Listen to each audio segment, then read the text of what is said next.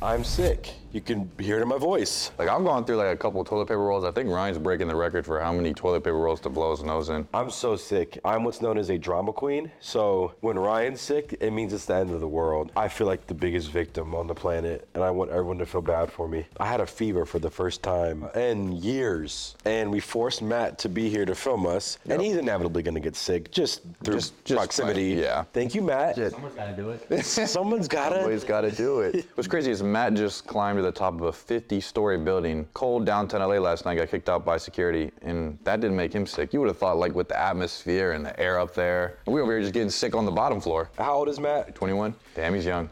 Back when I was 21, I had energy for shit like that. These days, Yeah, I'm definitely getting to that stage where like, the older I get, I understand why my dad was looking out the windows with his arms behind his back. just staring there for hours. They're like, I get it now. what was Matt doing climbing up the building at late at night? Yeah, so since moving to LA, got a big city. Never been in a big city before, so got to take advantage of it. And so me and a few friends, we hit some helipads downtown Los Angeles. And so basically how that goes is you ain't allowed to go up there. And so you got to sneak in the building. You got to walk past the front desk with your head down while you're carrying all your camera equipment, your lights, and all that. Good morning, security. Good, morning. and so you put your head down and you act like you belong there. So the lady last night, she wasn't having it. She caught on, but we still snuck up in the elevator. We got to the top, and within five minutes of being on top of the helipad, some dude came up. You guys know you guys can't be up here, right? Wait, what do you mean? Like, oh, we're just taking photos. Like, the helipad. We didn't know that. We opened like four doors that said trespassing. all all people who go past this door will be prosecuted. And so I'm still here. Didn't get it. Didn't get arrested. Didn't get in trouble. So And what were you guys doing? Like pictures, drone shit? yeah, we were just doing some pictures, but we didn't really have time to do much because uh, because we got kicked out. How many people did you go with? Two other people, so Two people. three of us. Were they both white? Yeah, one's like a Middle Eastern mix, but uh, yeah, I think about this being half white. All the daredevil shit, high adrenaline shit, is always white people. And I've always respected that because whenever someone's hanging off a cliff or some shit or jumping in the middle of the, it's always a white person. that is true. Hey, done some daredevil things before. why is that? Do you have an idea of why, whenever it's like a big bug getting held or a spider or something, it's a white person holding it? They're always the bravest. So thank you. You've definitely done a backflip off a cliff or into a lake or something. I have done a backflip into a lake. I was, it was technically like off a bridge. Boom. Doing what? the the bridge backflip. Big the bridge backflips. There's got to be some sort of reason for that, like a cultural thing. There was this one trip we went on to Horseshoe Bend. Have you guys been there? Where's that? I imagine it's shaped like a horseshoe. Like every time I look at the picture, I'm like, damn, why did I do that? Basically, like I went to the edge and I did a cool like, I'm risky, like that. But from where I was, it didn't look anything crazy. I was like one pebble slip, I could have been at the bend. So I said, bro, what? Why didn't you tell me there was a whole cliff right there? But I look back at that picture and it gives me anxiety every time I look at it. I'm like, damn, I really could have just slipped and just been done. Same same thing. There's a place called Vasquez Rocks, probably like 45 minutes north of uh, Los Angeles, and uh, basically just a bunch of like big rock formations. And so me and my buddy thought it would be a good idea to go up there for sunrise. You know, wake up early and uh, go hit it. And I'm in my adventurous era, so I'm on top of the steep rocks that like forms to a tip at the top. And I'm I brought my drone, and I'm like standing on top of this, like trying to hold my balance and also try to fly a drone. And I looked back in the moment, I was like, oh, like, this is cool, like whatever, it's for the shot. And then when I got back to my computer, I realized like if I took like one step in either in any direction, I would have fell like 100 feet. But that's what makes it adventurous. It's the, it's the adrenaline thing, and and that's why I never do that shit. I feel like every kid, to some extent, has some story that they've done in their life that could have like You gotta have those. put stories. themselves in jail or like hurt like There's something about being young where that lack of prefrontal cortex is just not developed all the way. You think you're invincible. You think that like, oh, nothing's gonna happen to me, and then by the grace of God, nothing usually happens. But y'all had some close encounters. I guess I don't regret anything because, yeah, like you said, it builds character. You don't want to live your life scared because Well, then you went to won't- the limit. Now you're like, and I'm not gonna go that far anymore. You know you- now. You created a boundary where you're like, that's how far I will push my extremities. Exactly. That's why I like to look at it too. So you can like create those boundaries for yourself and like kind of give you a structure on how to live life. It's like Rob's survival guide of how to like You know, you kind of like acquire all these different skills and and these like limits you have on yourself, and you have a mental like note of what you can do and what you can, what you're comfortable with. But that's why I always say get out of your comfort zone. You get with the one ugly chick, and then you're like, never that again. And then you know where your limits are. I went into a little river one time, a lake, with my water shoes on. I was a kid, and I felt a little fish nibble on my toe. I haven't been in a lake since. That's nature, dude. Uh, speaking of fish, actually, uh, where I'm from, there's a bunch of sharks, Oh, and fuck so uh, yeah, so, so last summer this this uh, guy was boogie boarding in the ocean. All, Something I would never do ever. all of a sudden, uh, a big great white comes up. Yeah, he didn't make it back. Oh shit, he actually died. Yeah. So what I'm getting here is Ryan hasn't really like tested his extremities because seems like me and Rob have been in some situations where like I probably shouldn't have been there, but I'm not gonna do it again. We need to start a new series on the channel. Rhino tries. That honestly is the funniest thing. Getting Ryan to do things he shouldn't, he wouldn't want to do. There's a lot of Because- things that you would that a lot of people have done that he has not that you haven't done. I've never watched Star Wars. What's like the first thing you should do? Skydive. See, I just have no urge to do that. Like, I don't feel like I'm missing out. But that's because I haven't done it. So I don't know what I'm missing. But yeah, I just never, no roller coasters. We've been on planes with bad turbulence, so you got to take some. I experience got that. scarred from that. I don't like flying anymore. I've turned into an old man. Maybe that's just not my personality. That's May- true. Maybe I'm just not into thrill seeking. I'm scared to take the Tylenol because I'm like, man, what if this has an Yeah. adverse reaction? That's why I never understood like drug use. I'm like, how could you even get to the point of taking it one time? Even like vape, for example. Mm-hmm. Like, what if I get a head rush? I don't even know what that feels like. This was something interesting that we noticed last night. We went to our last basketball game. Harvard Westlake versus Eleanor Roosevelt. It was the last minute. They hit us up like 30 minutes before the game. We're like, all right, we'll come, we'll come. Me and Ryan were standing in the student section. Yeah. That was a. I kept. I I didn't know if you wanted to switch to the other side because like they had a lot of energy. It was a lot to handle. The- and one of the kids, I was just standing there the whole time, just like enjoying the game, and then they're all screaming and barking, and, and I was like, oh.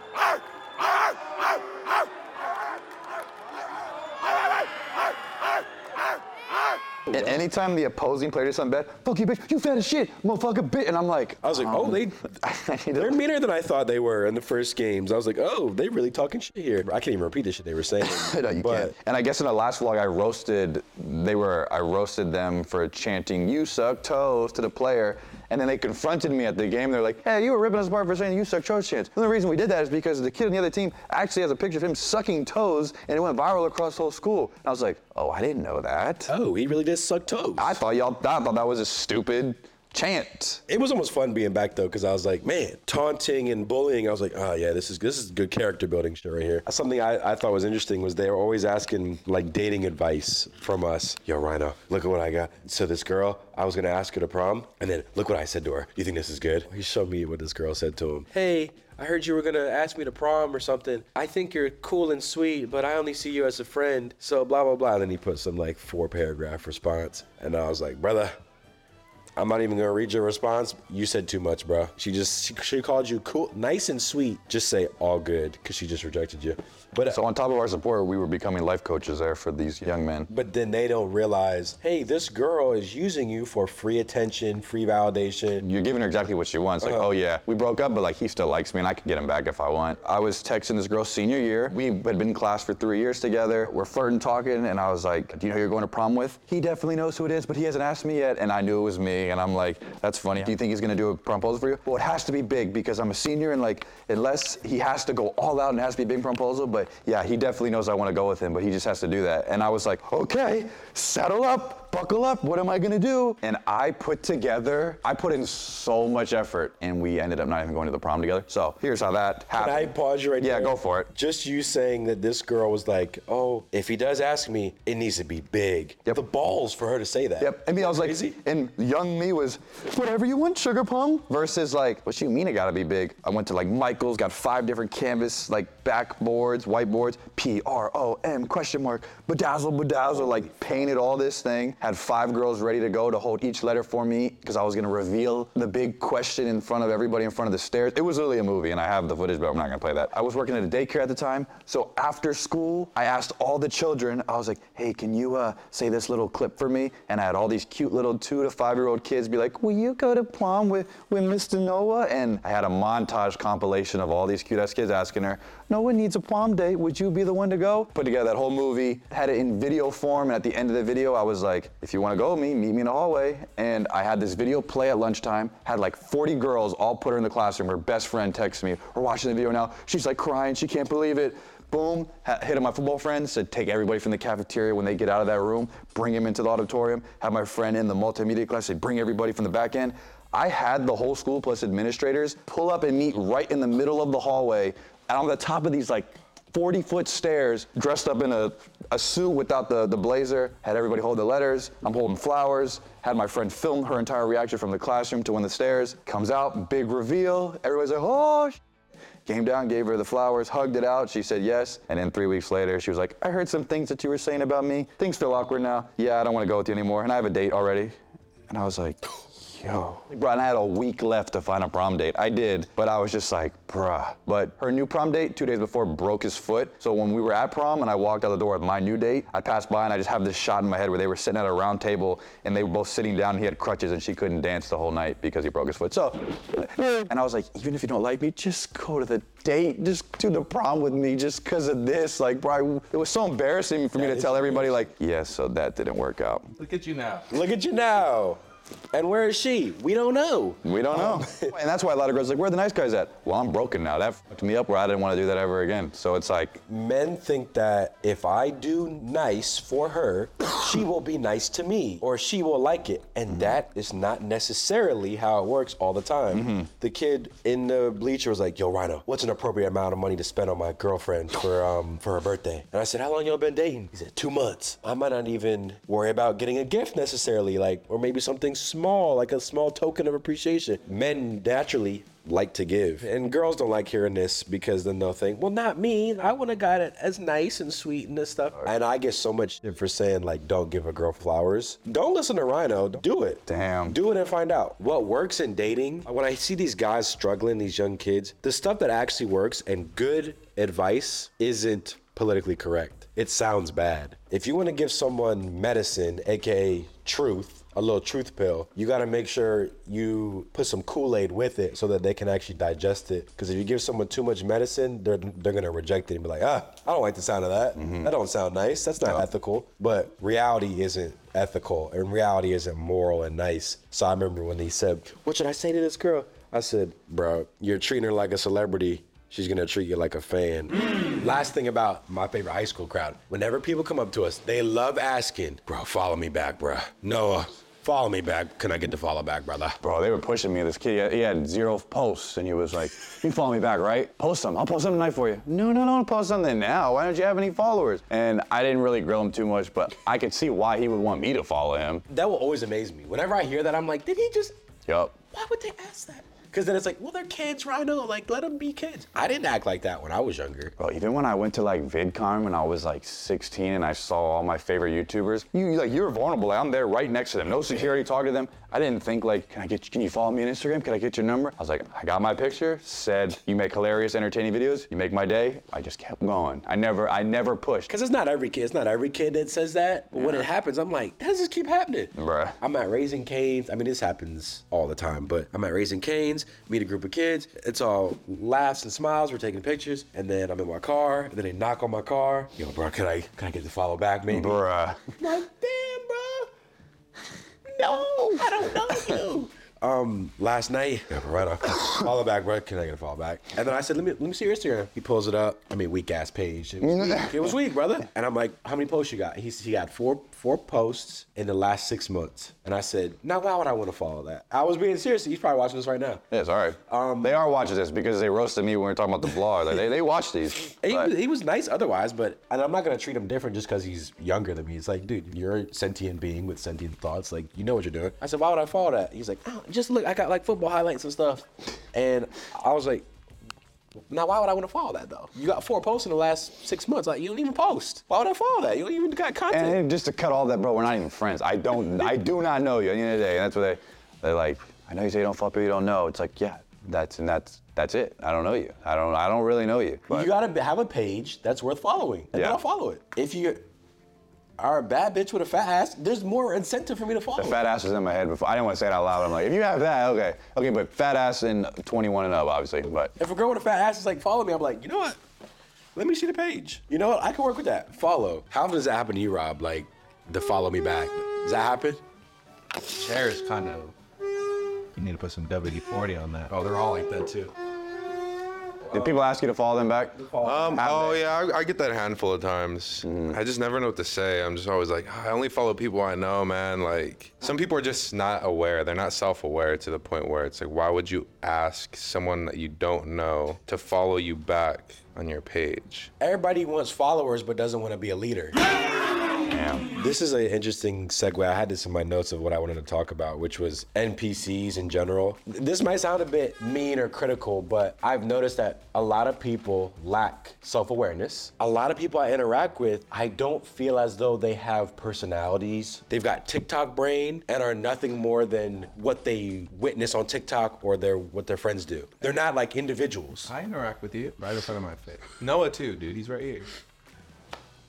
And that's why I don't fuck with these guys. Um, I just keep, and maybe this is me being an elitist or whatever, but when we're out on the street interviewing people, asking them questions or whatever, or interacting with people, there are people I meet that are real individuals with their own personality, their own spunk, and whatever. And a lot of people, they're just like these robots. They're like these gray orbs. Sorry to say it, like a gray, lifeless orb, where I'm like, is anyone in there? And that's what the world is. It's always been like that. You've just got to, you know, experience all that and take it all in. Like a lot of probably don't. So like a lot of people are just NPCs amongst other NPCs. But it's like almost always been like that, probably. Yeah, it's always always been. It probably gotten worse with the brain rot of social media, and most people just probably consume too much and don't even know who they are. But, uh, That's it. They- It's like, but yeah, they not could have. They, they, yeah, but they always could have always been there. And because you have and me have both gone out and spoke to so many and see so many, when you actually do talk to a random person off the just outside, like, huh? I noticed that too with how people interact in their day to day. They're very, they don't think before they say something or do something, and they're on this autopilot. Let's say it's a grocery store worker or some worker that I'll bump into. They'll have this nasty attitude or something like that. I had an incident where this lady was being very rude to me. I was, it was at the Auntie, Auntie Anne's pretzel thing, and she was just being a total biatch. She said, We ain't got that. And I was like, damn, are you good? I said that to her. She was, and she's like, the point I'm trying to make here is like, I think before I say something. A lot of these people are just on autopilot where they're angry, so I'm gonna be pissed today. And now everyone that says something to me, I'm gonna be pissed at them. And I was just like, damn, y'all. That's why if someone's being mean to you, just tell them like, "Are you having a bad day today?" And then it kind of takes them back, like, Yes. Oh, you I know what I mean? Like, oh fuck, I was just being mean to somebody. Yeah. Because they probably expect you to be like, give them a snarky attitude back. Because even if I'm pissed, I don't act like that out out in the world. I'm also I'm trying to be individual because I started this new thing that it's like gonna catch fire and like be a cultural. I'm putting this comb in, in my hat. Did you guys notice that? I've seen that. Yeah. I was trying to. I was looked at it earlier. I was just trying to see what you were trying to do. Uh-huh. It's like a thing that I'm starting. Does it, does it like does it like hurt? Does it feel weird? Now, if you wear head fitted hats, you just stick the comb in. Okay. Let's see how it looks without the glasses. I think. I'm wearing the glasses right now because I'm sick, so I look crazy. But this is how you would normally rock it. This is how you rock it. Ready? Hold on, ready? Oh damn! It's the whole thing. It's a metal Do you use comb, it by though the way. too or no? Yeah, I do. Let me look in the mirror real quick, make sure I get the right. Now, I have a bigger one, but just this one is what I'm rocking right now. It's, it's a new trend. Oh, what's up, guys? And yeah, so a they- table for two, Then please. you do the Jake Paul gotcha hat, and it's like, hey, dude. And what you do is because you put the comb and you like put it in your hair, so now it like won't fall out. So this can ah. come off and it stays in my head. Yeah. From afar, it kind of looks like a sideburn. Okay, so Like an Elvis sideburn. this isn't my exact comb that I always use. No, but isn't that like? Can I do that, or is that just like a black thing? You like, you know, with the combs and the hair. I can't be doing this, can I? Try it. It's not. It's not a pick. It's a comb. See if it. Hold on now. Let me. I have another. You might be onto something. Cause like I have a black. I have a black comb that's a bit longer that I was using. Let me. I could bring that up real quick.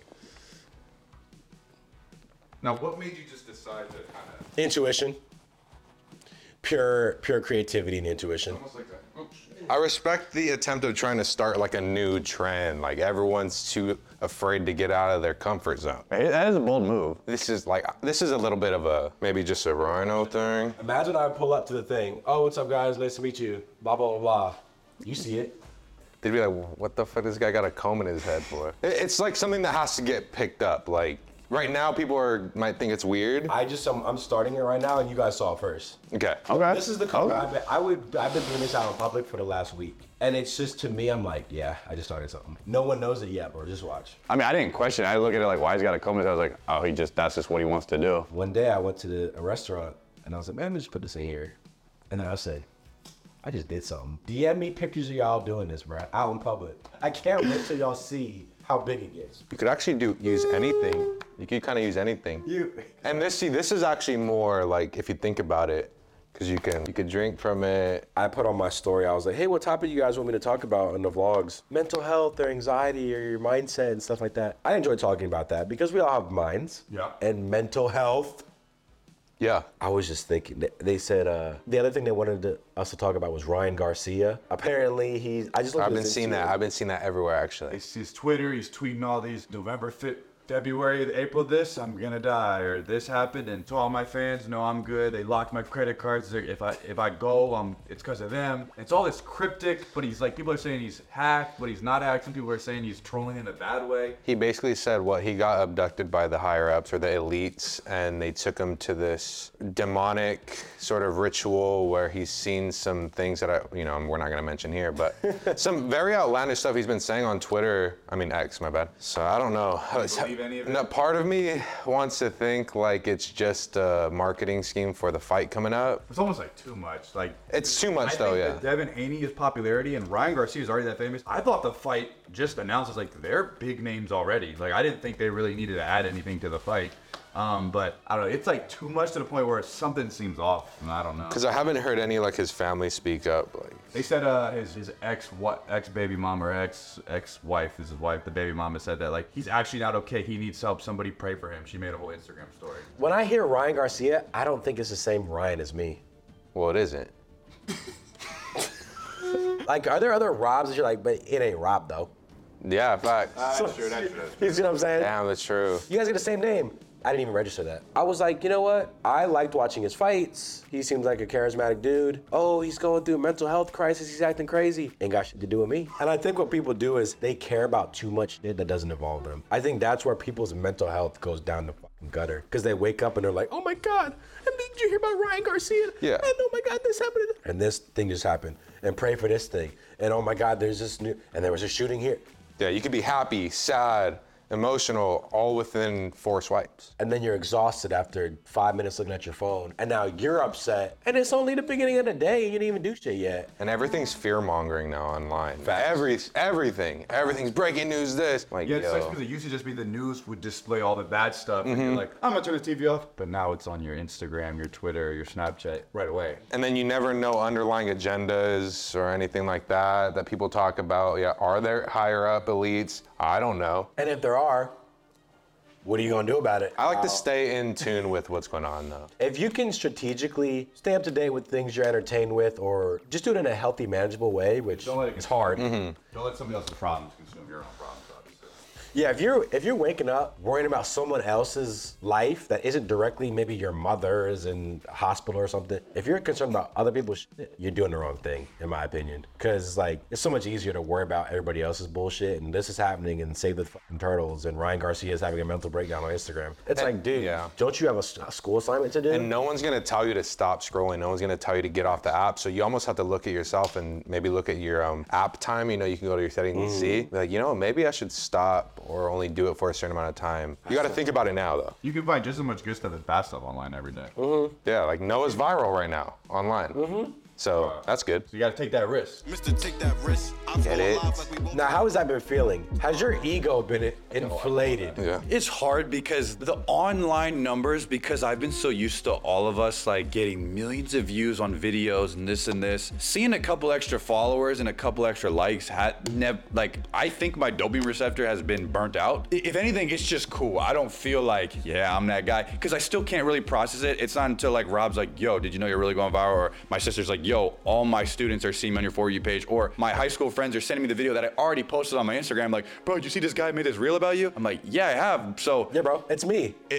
I, shit. I understand how big it is, but it's almost like so big I can't grasp because you know I was trying to look up the TikToks and I literally found another hundred on top of the 200 I already saved. So I mean, it's dope. I think we we we we, uh, we talked about off camera where it's just like, isn't it cool that like my old ass photos get to like get to live again? Like these photos that I was just doing for fun because I was a sneakerhead hype beast in high school get a second life. I think that it's cool that I get to keep posting old shit that is done and gone, but it is immortalized because other people want to just look at it or they want to feel nostalgic again or they remember where they were in that era. I mean, without the YouTube numbers and stuff, a lot of other people in my hometown were dressed in the same exact way. It wasn't just me. So I think it's cool that I get to be kind of like, I don't know, the, the finger to point at. I, I think it's fine. I think the only thing that's affected me is, yeah, like when I go in public, like right now, officially, it's not fun to go to the mall. There's been like, went to Macy's on a polo, came out, 20 kids just staring at me, and I'm like, when did they see me? I saw one, I clicked on it, clicked on their page. They had 20K followers, and their only 10 posts were all of me. I'm like,